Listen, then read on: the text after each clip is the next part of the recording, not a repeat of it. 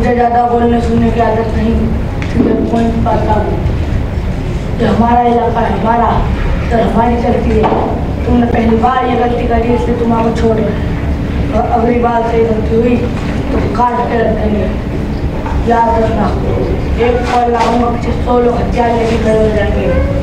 लगाओ नहीं सरकार लगाओ नहीं सरकार लगाओ देख, उनके सरकार चुप कह रहे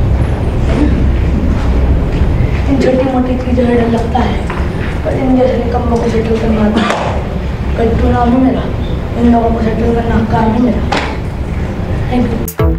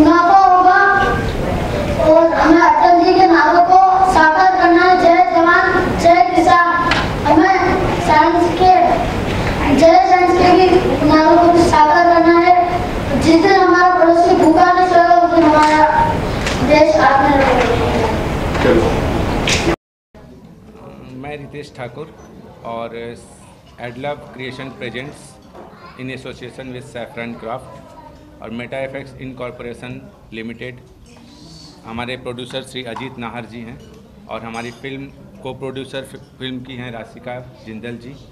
और हमारी फ़िल्म का नाम है हाँ सात साथ हैं। फ़िल्म के सब्जेक्ट पर रोशनी डालिए कि क्या साथ साथ है है क्या चीज़।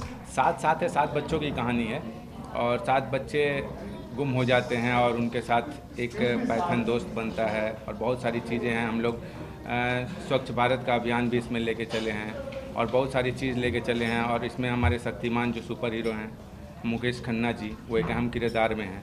बाकी अवतार गिल जी हैं, गोविंद खत्री जी हैं। बहुत सारी चीज़ें हैं और हम लोग इस फ़िल्म को लेके पूरे भारत में हम लोगों ने ऑडिशंस लिए और बच्चों को अच्छे अच्छे बच्चे की प्रतिभा जो छुपी हुई है उनको हम लोगों ने निकाल के बाहर लाया। बहुत सारे बच्चे ऐसे हैं जो कि घर में बैठे हुए हैं लेकिन उनको मौका नहीं मिलता है। लेकिन अजीत नाहर जी हमारे जो प्रोड्यूसर हैं, उन्होंने एक मुहिम निकाला और अच्छे अच्छे घर से बच्चे को निकाला जिन्होंने बहुत अच्छे अच्छे टैलेंट्स हैं, जो आज हम लोग मुंबई में फाइनल कर रहे हैं ऑडिशन हम लोगों ने लगातार आठ तारीख से ऑडिशन चालू किया और आज उन्नीस तारीख को हम लोग फाइनल कर रहे हैं। इस फ़िल्म के अंदर पूरा विजुअल इफेक्ट्स ही है या कुछ ग्राफिक और कार्टून टाइप भी कुछ इसमें एनिमेशन भी यूज़ कर रहे हैं? एनिमेशन यूज़ कर रहे हैं और पूरा विजुअल इफेक्ट्स है और ग्राफिक्स है सीजी है और पूरी अलग फ़िल्म है। जिस तरह आप लोग हम लोग कोशिश कर रहे हैं कि एक फ़िल्म ऐसी दे हम लोग बच्चों को लेके जो अभी आई नहीं है। और बाहुबली को लेके लोग आजकल जैसा जैसा देख रहे हैं विजुअल इफेक्ट्स देखते हैं ग्राफिक्स देखते हैं, वैसा हम लोग कोशिश करेंगे कि हम अपने फ़िल्म में दें। और हमारी फ़िल्म बहुत अच्छी है स्टोरी भी बहुत अच्छी है और हम लोग इस फ़िल्म को बहुत अच्छे तरीके से बना रहे हैं और बहुत ऊँची फ़िल्म बन रही है। आई इस फ़िल्म का बेस आइडिया किसका था? आपका या आपके निर्माता का? हमारे निर्माता का आइडिया था। उन्होंने बोला कि हमको बच्चे की फ़िल्म बनानी है और स्टोरी इन्होंने हमको नरेट किया था और जिस पे हम लोगों ने डेवलप किया और बहुत अच्छी स्टोरी है। चलिए हम नाहर जी से ही पूछते नाहर जी ये आइडिया कैसे आया आपको कि एक बच्चों पर ऐसी फ़िल्म और वो भी एनिमेशन मिलाकर मिक्स करके बहुत समय से बच्चों पर कोई फ़िल्म अच्छी नहीं आई और बहुत समय से दिमाग में था कि कोई ऐसा क्रिएटिव काम किया देश भर में छुपे हुए टैलेंट को उभार करके लाया जाए। तो ये सारे काम एक साथ किए गए इस मूवी के माध्यम से। तो इसके लिए फिर आपने ऑडिशन कहाँ कहाँ किया? ऑडिशन पहला ऑडिशन हमारा वाराणसी से स्टार्ट हुआ दूसरा ऑडिशन लखनऊ में हुआ तीसरा ऑडिशन झांसी छोटे टाउन में हुआ फिर भोपाल फिर उदयपुर और अब हम मुंबई आए हैं फाइनल ऑडिशन के लिए। तो चलिए अब आप फ़िल्म की शुरू शूटिंग भी शुरू करें तो कब तक कितने दिन में आपको फ़िल्म खत्म करने का जो एक्सपेक्टेड शेड्यूल है हमारा 10 सितंबर से स्टार्ट होकर के 30 अक्टूबर तक हम लोग शेड्यूल प्लान कर रहे हैं मूवी की शूटिंग का। अगर टाइमली हुआ तो 26 जनवरी को मूवी आप पर्दों पर देखेंगे। आप स्टार कास्ट के बारे में बताइए आप बच्चों के अलावा नवोदित बच्चों के अलावा सात तो मेन लीड बच्चे हैं और सत्रह टोटल बच्चे सिलेक्ट किए जाएँगे इस ऑडिशन के द्वारा। इसके अलावा मुकेश खन्ना जी शक्तिमान मुख्य रोल में है अवतार गिल साहब हैं गोविंद खत्री जी हैं। इसके अलावा और भी कई कलाकार हैं जो अभी दो चार दिन फाइनल हो जाएँगे। शायद मैं सुनने में गलत नहीं महसूस कर रहा हूँ तो कि शक्तिमान के रोल में ही शक्तिमान है जी शक्तिमान हिंदुस्तान के एकमात्र सुपर हीरो शक्तिमान। बच्चों की सुपर हीरो शक्तिमान है और वही इस फ़िल्म के मुख्य कलाकार हैं। मैडम आप इस फ़िल्म से क्या क्या आप इसके लिए आपका सहयोग क्या कह रहा है? जरा वो बताइए आप ऐसे को प्रोड्यूसर तो आप आएँगे इसके अलावा। इसके अलावा बहुत सारा मैनेजमेंट है। टैलेंट को निकालना। हम लोग अलग अलग शहरों में जाके सारा टैलेंट देख रहे हैं। और आज फाइनली मुंबई में है। अ, आज हिंदी फ़िल्मों में एक संगीत भी बहुत बड़ा पक्ष होता है। संगीत के बारे में आप लोगों ने क्या डिसाइड किया है? संगीत मतलब गाने का म्यूज़िक डायरेक्टर कितने गाने रहेंगे? नितेश जी आप बताइए? संगीत इसमें हमारे टोटल पाँच गाने रहेंगे और हम लोग देश को लेके देश संदेश भी दे रहे हैं और बच्चों को लेके बच्चों का पिकनिक पॉइंट बहुत सारे अच्छे अच्छे संगीत हैं जो कि अच्छे अच्छे गीत हैं जो हम लोग लेके आ रहे हैं इसमें और एक टाइटल सॉन्ग है जो हमारे टाइटल सॉन्ग अजीत नाहर जी ने दिया है। वो ज़बरदस्त सॉन्ग है वो कंपोज हो रहा है बहुत अच्छा सॉन्ग है। संगीत के बारे में आप कुछ और कुछ ऐसा बाहर से सुनने में आया था कि आपको कुछ संगीत के बारे में काफ़ी कुछ जानकारी भी कुछ उस पर रोशनी डालेंगे आप? अब जानकारी हो क्या गया ना कि मैं संगीत का कोई भी गाना अगर मैं आप लोगों के सामने बोलता हूँ तो फिर ऑडियो, वीडियो, सेटेलाइट कंपनी बोलती है, आपने क्यों इस चीज़ को प्रकाशित कर दिया? तो मैं संगीत पे यह है कि मेरी संगीत क्या है ना, भोजपुरी में भी मैं करता हूँ तो सारा संगीत मेरा हिट रहता है और संगीत पे ज़्यादा थोड़ा ध्यान देता हूँ, रुचि है। तो इस फ़िल्म का संगीत बहुत अच्छा बन रहा है और संगीत से ज़्यादा प्रेम इनको है, हमसे ज़्यादा। और इनकी गाइडेंस ना मेरे मेरे को बहुत सीखने को मिलता है।